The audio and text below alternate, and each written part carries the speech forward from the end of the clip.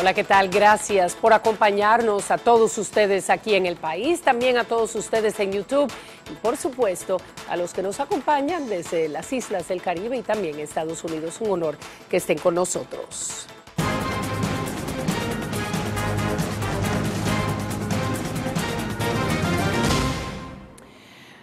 Por lo menos una noche más pasarán recluidos en el Centro de Corrección y Rehabilitación Najayo San Cristóbal Alexis Medina y otros implicados en el caso Antipulpo, a los cuales les fue variada la medida de coerción de prisión preventiva por arresto domiciliario.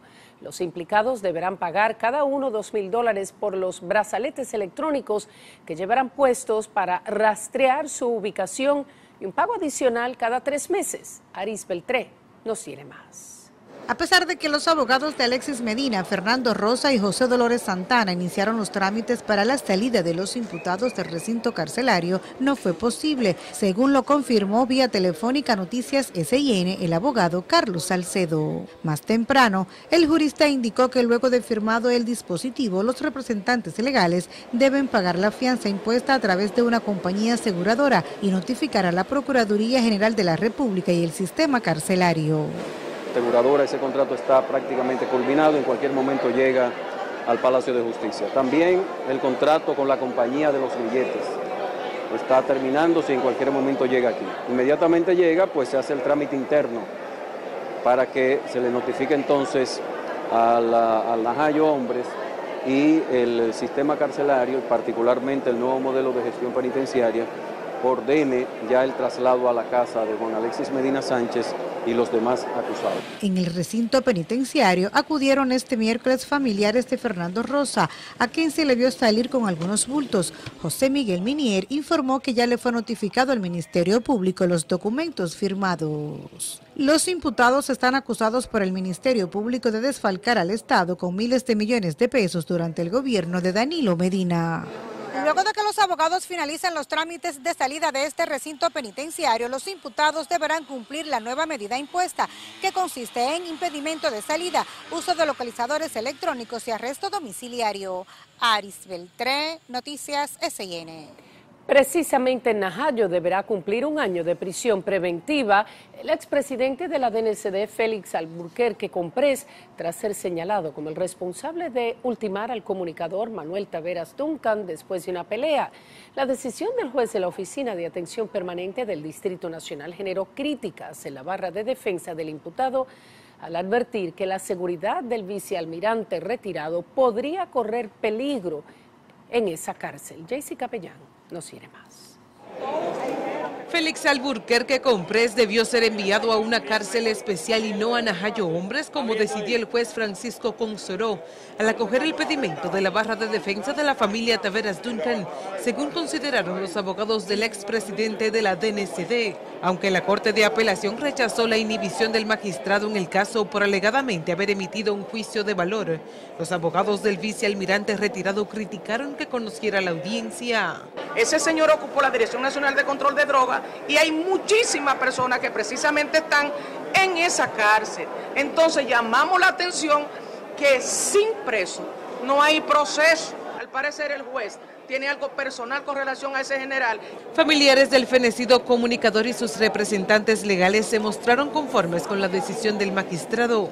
Eso era lo que nosotros pedíamos y lo que pidió nuestro parquet o Ministerio Público. Prive la audiencia, la familia Taveras Duncan contó lo difícil que ha sido para ellos superar la muerte de Manuel, mientras luchan para que no se quede impune. Horrible, horrible, una pesadilla, esto es una pesadilla. Voy a abogar a la justicia dominicana, nosotros abogamos. Vamos a, darle la oportunidad de que nos demuestren que realmente pasa un proceso limpio. De acuerdo con el Ministerio Público, Albuquerque y Duncan sostuvieron una pelea la madrugada del viernes 19 de agosto en un negocio de comida rápida y tras ser separados por varias personas presentes, el imputado buscó un arma de fuego en su vehículo que según el órgano acusador era ilegal. Tras cometer el hecho intentó deshacerse de ella.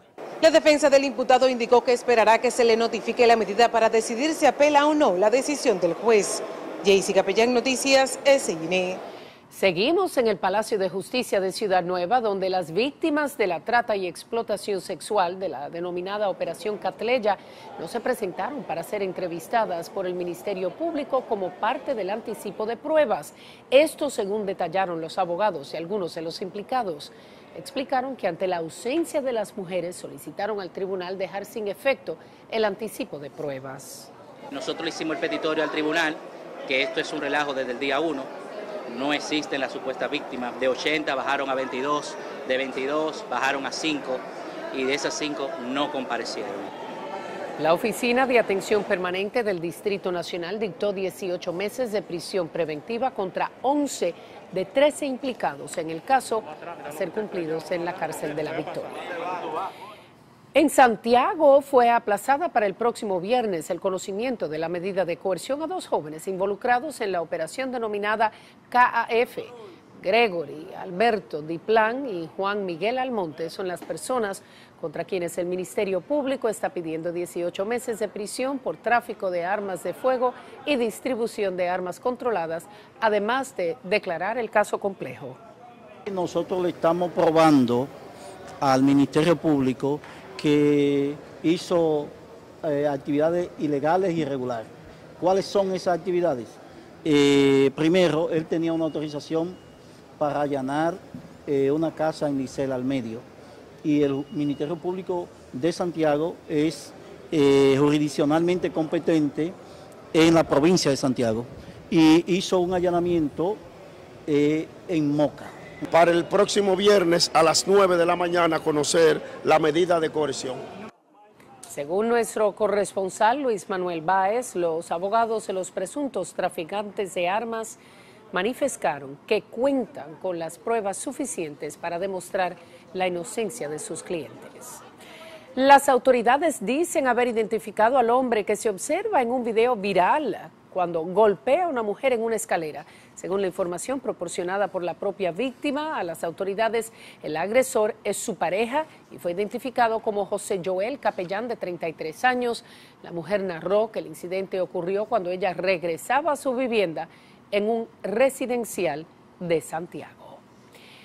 Este miércoles, agentes de la policía adscritos a la Dirección Central de Investigaciones realizaron una revisión de videos de las cámaras de seguridad de la Torre Cherry 4 para tratar de identificar y detener a los autores del robo y ataque al ex senador César Díaz Filpo, quien fue atendido en un hospital por golpes a la cabeza que le propinaron los asaltantes. Sandy Cuevas nos tiene más.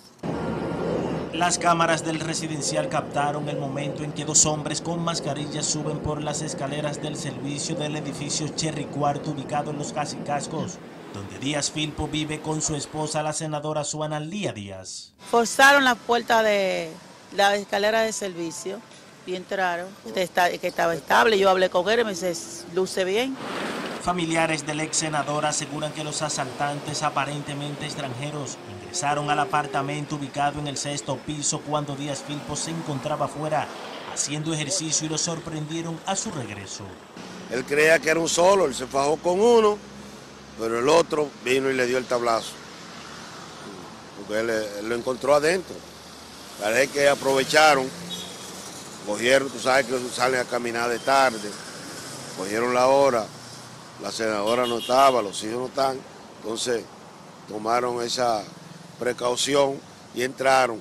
Debido a los golpes, Díaz Filpo fue trasladado a un centro médico donde saturaron una herida en la cabeza con ocho puntos. De acuerdo a la familia Díaz, los hombres robaron joyas, una computadora portátil, celulares, relojes y otras pertenencias. Se trabaja en la identificación de los dos hasta el momento desconocidos que perpetraron hasta este apartamento. Y nada, esperando los resultados de las investigaciones, pero gracias a Dios Con el fin de esclarecer los hechos, la policía informó que se encuentran bajo investigaciones varias personas. Sandy Cuevas, Noticias SN. Eh, precisamente en el Congreso, diputados de distintos partidos políticos llaman a organismos de seguridad del Estado a estar vigilantes ante la posibilidad de que en el país estén operando bandas criminales extranjeras debido a que hay sospechas de que fueron extranjeros los que penetraron a la residencia de la senadora. Y como nos cuenta Jessica Soriano, al ser cuestionado sobre el caso, el ministro administrativo de la presidencia, José Ignacio Paliza, aseguró que el gobierno hace esfuerzos para mejorar la seguridad ciudadana se investigarse porque cuando tú hablas de los senadores... En apenas 15 días, dos legisladores del partido oficialista y sus familiares han sido víctimas de la delincuencia en el país. Nada cansará al presidente Abinader hasta poder brindar en República Dominicana los mayores niveles de seguridad, tranquilidad. Este flagelo que ha tocado directamente a sus colegas, pero que casi a diario enfrentan ciudadanos en sentido general, preocupa a legisladores que califican la situación como delicada. Y ese hecho de la senadora, de la familia de la senadora Lía Díaz, perpetrado por extranjeros, puede ser eh, un preámbulo de ciertos grupos que quieran venir a alterar el orden aquí, de delincuencia internacional, que vengan a la República Dominicana a querer alterar nuestro orden. Nosotros no podemos permitir eso. Para algunos congresistas, este hecho deja evidenciado que la delincuencia creció a un nivel que incluso ha calado en todos los niveles sociales. Los mismos delincuentes están penetrando a los hogares, y miren a qué hogares estamos hablando, a casa de personas que se supone tienen seguridad. Esto habla más que nada de la descomposición social que tenemos, muy grande, que allí entonces tú puedes aunar eso al tema de la violencia de género mientras el ministro de Interior y Policía dice que tengan paciencia, pero ¿cómo tú puedes tener paciencia si están metiendo a tu casa a robarte y hasta a tratar de matarte? Los legisladores recordaron que justo el 16 de agosto pasado, a manos de malhechores, resultó muerto durante un atraco el hijo del diputado Darío Zapata. Son hechos que llaman mucho a preocupación eh, esto y lo que pasó con el hijo del diputado y lo que pasa a diario con cantidad de ciudadanos. Esto es un asunto sumamente delicado que debemos todos asumir, repito, es algo muy importante, esto es algo muy serio. Yo creo que debemos todos entender que es un compromiso de todos. Ante los casos de violencia y atracos en el país en los últimos días, la sociedad civil también se ha expresado y ha abogado para que se creen políticas públicas que frenen esta situación. Jessica Soriano Noticias, SN. La pregunta de Twitter esta noche dice así con este asalto a mano armada en un residencial donde vive la senadora Lía Díaz y su esposo, ¿cree usted que estamos en presencia de una nueva modalidad delictiva, opine SN, hashtag opina SN es precisamente la etiqueta. Utilícenla y más adelante escuchamos de ustedes. A propósito del tema, no se pierda este jueves un TBT precisamente cómo afecta la delincuencia al país. Recordamos a nuestra investigación de 2020, víctimas del delito, cómo detrás de cada robo hay una vida, una historia, un rostro y las secuelas psicológicas que padece cada uno de los afectados. ¿Cuántos robos ocurren en promedio en el país? La cifra de hurtos había disminuido. ¿Y qué dice la percepción de la población sobre la inseguridad y la delincuencia que arrojan y reflejan encuestas? ¿Y por qué? sigue siendo considerado uno de los principales problemas sociales del país. No se pierda el TBT este jueves, primero de septiembre a las 8 de la noche por nuestro canal de YouTube. Ante la escalada de violencia que vive Haití y que provocó el bloqueo del paso fronterizo de Elías Piña, el comandante general del ejército, mayor general Carlos Fernández Onofre, supervisó la fortaleza y capacidades de los soldados para responder a cualquier eventualidad de este lado del territorio dominicano. Ver sus capacidades y poder incrementar la, la parte operativa de nuestros miembros en esta zona para de esa manera darle fiel cumplimiento a lo consignado en nuestra Carta Magna de defender el territorio nacional. Según nuestro corresponsal Peter Pablo Mateo, el mayor general aseguró que para la construcción del muro fronterizo cuentan con las instrucciones del ministro de Defensa a fin de proporcionar la seguridad necesaria para los equipos de trabajo. Gobernantes y dirigentes de todo el mundo lamentando la muerte de Mikhail Gorbachev el último líder de la desaparecida Unión Soviética. Desde nuestra alianza informativa latinoamericana, Victoria Iliakova nos tiene más en exclusiva desde Moscú. En seis años en el poder, Mikhail Gorbachev, el último mandatario soviético, ha logrado cambiar el mundo. Su muerte es una tragedia para el país y para todos aquellos cuya vida ha cambiado para bien gracias a él. Son algunas de las valoraciones de los políticos rusos del legado dejado en vida por Mikhail Gorbachev tras su fallecimiento ocurrido este martes en Moscú a la edad de 91 años a causa de una grave enfermedad renal. Asimismo, los grandes empresarios rusos le dan las gracias al ideador de la perestroika por brindarles una vida civilizada. A su vez, el presidente de Rusia, Vladimir Putin, en el telegrama dirigido a los familiares del fallecido, destacó que Gorbachev logró cambiar el rumbo de la historia mundial. Según él, Gorbachev llegó al poder en un periodo de duros cambios y retos económicos, sociales y políticos de una gran envergadura. Además, Putin elogió la labor de Gorbachev en el ámbito humanitario, benéfico y educativo. La ceremonia de despedida del ex líder soviético tendrá lugar este sábado 3 de septiembre en la famosa Casa de los Sindicatos, a pocos metros de la Plaza Roja. La Casa de los Sindicatos es el lugar tradicional de despedidas de los mandatarios soviéticos desde la formación de la URSS. Después del evento fúnebre, que será de libre acceso para el público, Gorbachev será enterrado en el cementerio Novodevichy, el más prestigioso de Rusia junto a su esposa que ya está enterrado ahí. Eh, así fue la voluntad de Gorbachev. El Kremlin aún no se ha pronunciado si la ceremonia va a tener el carácter estatal. Desde Moscú, Rusia, Victoria Lekova para la Alianza Informativa Latinoamericana. Estas y otras noticias las pueden ampliar en nuestra página web, el portal más completo de la República Dominicana y lo tienen en pantalla noticiassin.com.